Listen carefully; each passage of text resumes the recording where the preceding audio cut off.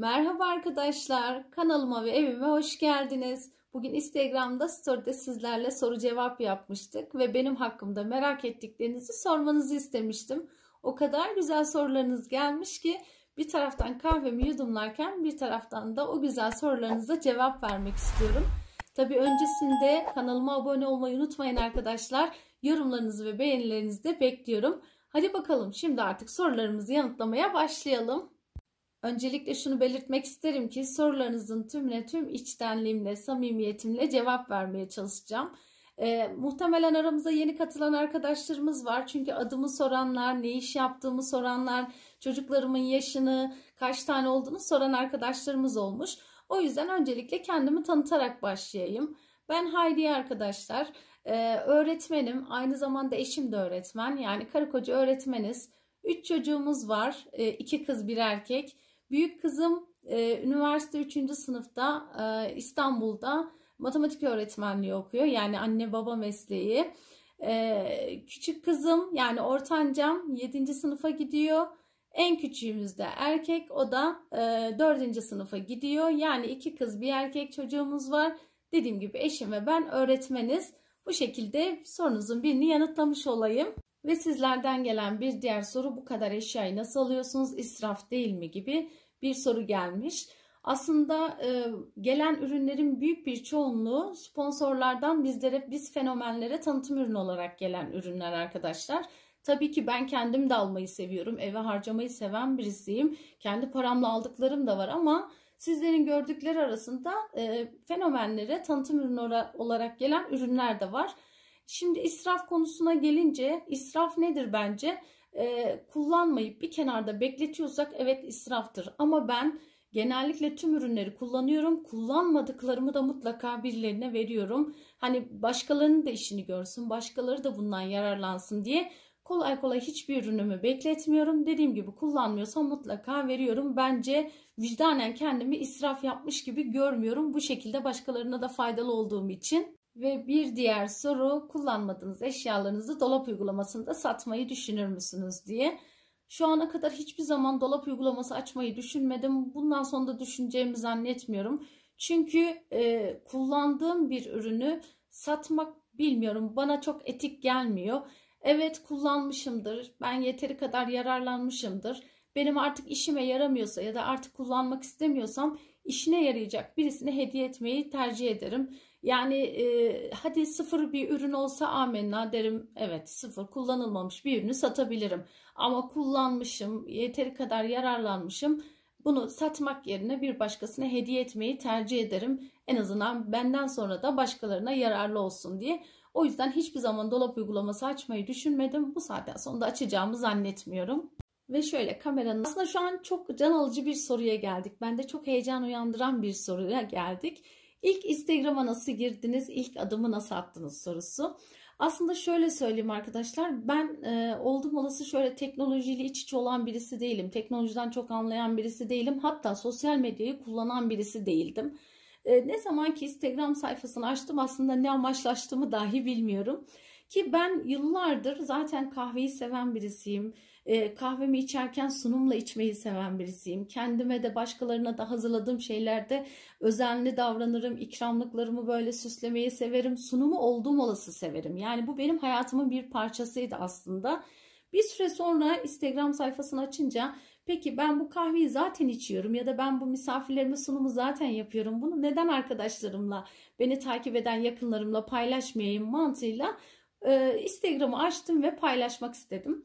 Aslında bu konuda eşimin çok ciddi tepkisi olduğu istemedi. Çünkü o da sosyal medya kullanmayan birisi. Hatta eşim muhafazakar yaşayan birisi. Bana göre daha muhafazakar yaşayan birisi.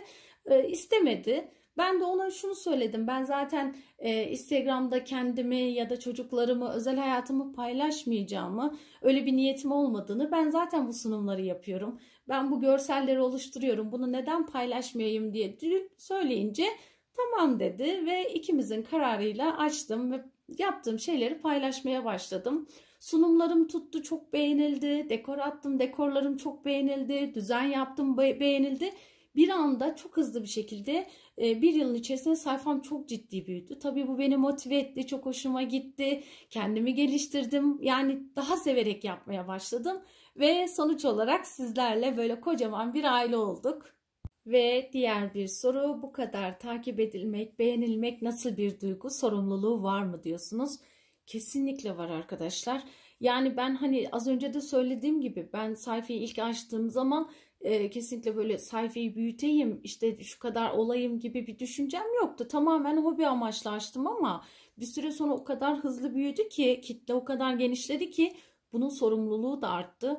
Ee, mesela normalde işte canınız ne zaman isterse paylaşım yaparsınız. Ara ara paylaşım yaparsınız ama siz belli bir kitleye hitap etmeye başlayınca insanlara karşı sorumluluğunuz artıyor. Haklı olarak onlar sizden düzenli paylaşım bekliyor. Yani bunların sorumluluğu bambaşka bir şey.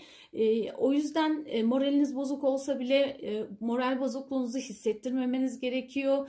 Düzenli paylaşım yapmanız gerekiyor. Artık sorumluluğunuzun daha da arttığı bilinciyle hareket etmek zorunda kalıyorsunuz. Ama ben zaten sevdiğim için bunlar bana yük değil. Çok hoşuma gidiyor. Sizlerden gelen böyle mesajlar, sohbet etmemiz, sizlerle yaptığımız arkadaşlık, dostluk beni gerçekten mutlu ettiği için e, çok e, rahatım yani çok mutluyum. Ama e, şunu da düşünüyorum. Acaba kendimi paylaşıyor olsaydım, insanlar beni görseydi bu kadar rahat olabilir miydim? Ne bileyim bir AVM'ye gitseniz, bir kalabalığa gitseniz herkesin sizi tanıyor olması ya da birçok takipçinizle karşılaşıyor olmak acaba bir süre sonra insanı yorar mıydı? Ben o konuda rahatım. Hani bir şu an için bir sıkıntım yok ama ses tonumdan dahi tanıyan takipçilerim oluyor. Bu da beni mutlu etmiyor diyemem. Sıkılmamanız adına televizyonun açısını birazcık değiştirdim. En çok gelen sorulardan biri kendinizi neden göstermiyorsunuz?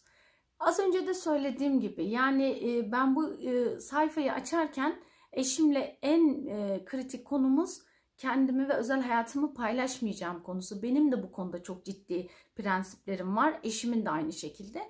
Çünkü biz özel hayatımızı e, deşifre etmeyi, ortaya sermeyi çok doğru bulmuyoruz. Hani ben çocuklarımı da paylaşmıyorum. Mesele sadece kendimi paylaşmak da değil. E, eşimi, çocuklarımı da paylaşabilirim. Başkaları yapıyor mesela arkadaşlarım. Tabii ki onlara da saygı duyuyorum. Ama ben kesinlikle bunu yaparken sayfamın içeriğine uygun sunum sayfası, düzen sayfası, işte e, yemek sayfası içeriye uygun bir paylaşım olması açısından tarzımı, çizgimi bozmamak adına o tarz paylaşımlara girmiyorum. Allah'ın izniyle de bu saatten sonra girmeyi düşünmüyorum. Bu konuda sizlerden de anlayış bekliyorum. Ha tabii ki sizi de anlıyorum. Gerçekten merak ediyor olmanızı da anlayışla karşılıyorum. Onun için de zaman zaman toplulukla olan resimde bir iki defa atmışlığım var. Bir düğün fotoğrafında attım. Bir de doğum günü kutlamasında attım ki tabii ki sizin de merakınızı bir nebze de olsa gidermek için. Ve son zamanlarda en çok aldığım sorulardan biri iki öğretmen maaşıyla bu yaşantıyı nasıl sağlıyorsunuz sorusu. Aslında zaman zaman buna yanıtlar verdiğim oluyor ama yine de bir kez daha anlatayım. Şöyle e, evet şu an maaşımızın dışında ek gelirlerimiz var. Bu hayatı yaşarken o ek gelirlerimizin faydası oluyor ama ben bu ek gelirleri sağlamadan önce de eşim ve benim maaşımızda gayet konforlu yani yaşam standartımızı yüksek tutabiliyorduk. Yine evimizi almıştık. Yine yaşam kalitemizi yüksek tutuyorduk. Hani e, belki bir villada oturmuyorduk ama neticede yine konforlu bir yaşamımız oluyordu. Aslında bu birazcık insanın e, yaşamdaki önemsediği şeylerle alakalıdır. Kim insan birikim yapmayı sever. Kimi insan işte evi harcamayı sevmez. Kimi insan ne bileyim tatile gitmeyi sevmez. Ya da ne bileyim herkesin önceliği farklıdır. Benim bizim önceliğimizde yaşam kalitemizi yüksek tutmakla alakalı. Biraz bununla ilgilidir. Hani bir de her zaman için böyle bir yaşamı gördüm. Böyle konforlu yaşamayı seviyorum. Bu burcum itibariyle Aslan burcuyum. Aslan burcunu bilirsiniz. E, konforu sever. Evet, imkanlarım dahilinde konforlu yaşamı seviyorum. Ee, evet şu an villada oturuyoruz ama neticede bunu yaparken ek gelirimizin faydası oldu sağ olsun ailemin desteği oldu birikimlerimiz vardı gayrimenkullerimiz vardı bunların hepsini bir araya getirince elhamdülillah Rabbim nasip etti. Ve diğer gelen bir soru öğretmenliği bırakmayı düşünüyor musunuz? Aslında yoğunluğumdan dolayı bir ara düşünmedim diyemem ama mesleğimi gerçekten çok seviyorum. Öğrencilerimi çok seviyorum. Çok kutsal bir meslek yaptığımın farkındayım. O yüzden de minimuma düşürmekten yana oldum. Yani en azından ilk etapta hızlı bir şekilde mesleği bırakmaktansa en aza düşüreyim. Branş öğretmeniyim neticede. Ne kadar ders istersem o kadar alabiliyorum. Ders sayımı azalttım. Maaş karşılığı giriyorum sadece. Ve dersimden kopmadan, öğrencilerimden kopmadan iki buçuk gün okula giderek e, mesleğimi de yapıyorum. Gerçekten o kadar kutsal bir meslek ki insan böyle bir mesleği bırakamıyor. Belki başka bir mesleğim olmuş olsaydı evet bırakayım biraz evde kalayım ya da diğer yoğunluklarıma yöneleyim diyebilirdim ama öğretmenlik bambaşka bir şey. O öğrencilerimin gözünün içine baktığım zaman o çakmak çakmak bakışları var ya beni benden alıyor. Ne yorgunluğum kalıyor ne böyle düşük enerji kalıyor. Her şey değişiyor bambaşka oluyorsunuz.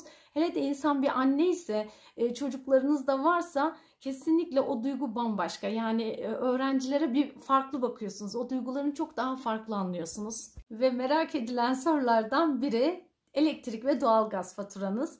Yani maddi konuları konuşmayı sevmiyorum ama o kadar çok bu tarz sorular geliyor ki acaba neden merak ediliyor diye de aslında ben de şaşırıyorum. Ben de merakınızı gidereyim arkadaşlar. İlk ve son olsun. Şöyle söyleyeyim. Evet faturalarımız son zamanlarda biraz yüksek geliyor. E, masraflı bir evdeyiz.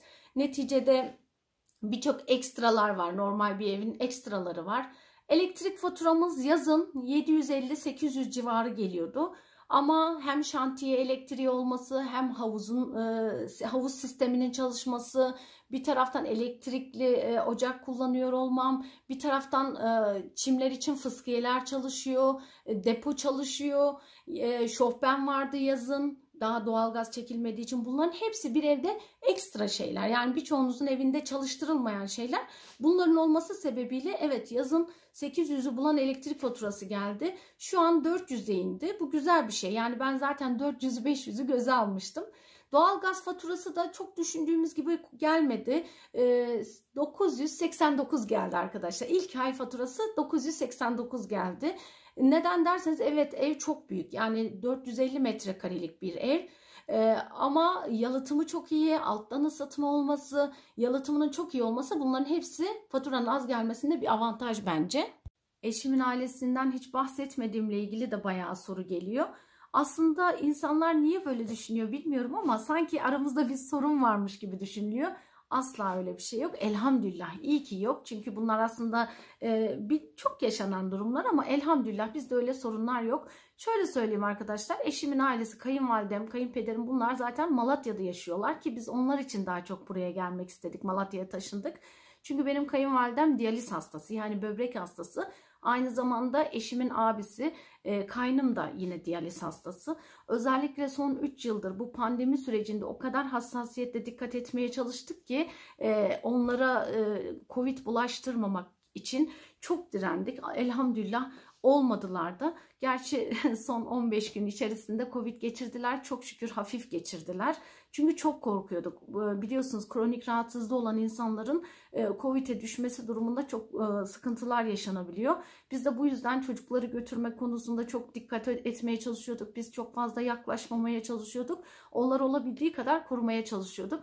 Ama işte onlar sık sık bana bize yemeğe gelirler. Biz gideriz yemeğimizi alır gideriz. E, çocuklar babaanneyi dedeyi görsünler. Onlar bizi görsünler sohbet edelim diye. Elhamdülillah kayınpederim de kayınvalidem de benim için çok değerli, çok kıymetli insanlar. Hiçbir zaman incinmedim. Beni çok severler. Aynı şekilde ben de onları çok severim. Gerçekten onlara yakın olma korkusunu hiçbir zaman yaşamadım. Biz Adıyaman Besni ilçesinde yaşıyorduk. Ve ben eşimi zorlayarak ben buraya geldim. Eşim Besni'yi çok sevdiği için gelmek istemedi buraya. Ama ben bir şehir hayatı olsun, çocuklarımızla sosyal faaliyet geçireceğimiz bir yerler olsun diye özellikle Malatya'ya gelmek istedim. Hiç Antep'i düşünmedim. Hiç Antep teklifinde de eşime bulunmadım. Nasıl olsa dedim hani ailen de rahatsız, annen rahatsız, belki bizim yardımımıza ihtiyaçları olur e, diye bu şekilde düşünerek geldik. Elhamdülillah 6 yıl oldu. Hiç pişmanlık duymadım. Niye geldik buraya demedim. Sağ olsun tabii ki bu durumda eşimin ailesinde çok bir etkisi, çok büyük bir etkisi var. Ben e, kayınvalidem benim için annem değerinde. O kadar kıymetli ararız, konuşuruz, gideriz, geliriz. Büyükleri bilirsiniz ki e, çok fazla e, ekran önüne çıkmak ya da bahsedilmeyi sevmezler. Ben de onları rahatsız etmemek adına hiç kimseyi paylaşmıyorum. Görüyorsunuz ben kendi aileme gitsem ailemi de paylaşmıyorum. Ha Antep farklı bir memleket olduğu için farklı alanları size göstermek adına ailemle ilgili ortamları paylaşıyorum ama neticede ben kayınvalidemleri rahatsız etmemek, onları e, incitmemek, rahatsız etmemek adına onlarla ilgili paylaşım olabildiği kadar minimum seviyede yapıyorum. Hatta geldikleri zaman geldiklerini söylüyorum. Giderken gittiğimizi de zaman zaman söylüyorum. Yani gizlediğim bir durum yok. Üst kat videosu ne zaman gelecek? İnşallah en yakın zamanda arkadaşlar. Üst katı biraz düzenlemeye çalışıyorum. Orayı düzenledikten sonra nasıl ki alt katın videosunu detaylı olarak tüm detaylardan bahsederek paylaştıysam üst katı da yine YouTube kanalımda tüm detaylarıyla paylaşacağım sizlerle. Heyecanla beklediğinizi biliyorum. Ben de inşallah sizlerle paylaşmak için gerçekten heyecanla bekliyorum. Ee, yakın zamanda paylaşacağım. Ve bir diğer soru eşinizle nerede tanıştınız? Eşimle aynı okulda çalışıyorduk arkadaşlar. Üniversiteden tanışmıyoruz. Çalıştığımız okulda tanışıyoruz. Adıyaman'ın Besni ilçesinde hatta bir beldesinde öğretmenlik yapıyorduk. Ben sosyal bilgiler öğretmeni, kendisi de görsel sanatlar öğretmeni olarak görev yapıyorduk. Öncelikle tabii ki meslektaşım olması sebebiyle insani olarak tanıdım. Ama kendisi bir süre sonra e, bekledikten sonra duygularını açtı ve ben de tabii ki öncelikle ailemle konuşma ihtiyacı duydum. Durumu izah ettim, ailemle tanıştırdım.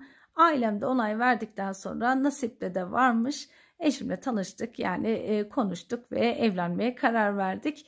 E, aslında e, aşk evliliği demiyorum ben buna mantık evliliği diyorum. Benim için o kadar keyifli bir sohbetti ki şu an sizinle kahvemi içip karşılıklı sohbet ediyormuş gibi hissettim. Bence bunun ikinci bölümünü yapalım. Nasıl yapalım? Sizler bu e, videonun altındaki yorumlara e, merak ettiğiniz başka sorularınız varsa o sorularınızı da yazın arkadaşlar. Sizlerle ikinci bir bölüm yapalım. Tekrar bir soru cevap yapalım. Merak ettiğiniz diğer sorulara da ikinci bölümde yanıt verelim. Videomun başında bahsettiğim gibi kanalıma abone olmayı unutmayın arkadaşlar. Beğeni ve yorumlarınızı bekliyorum.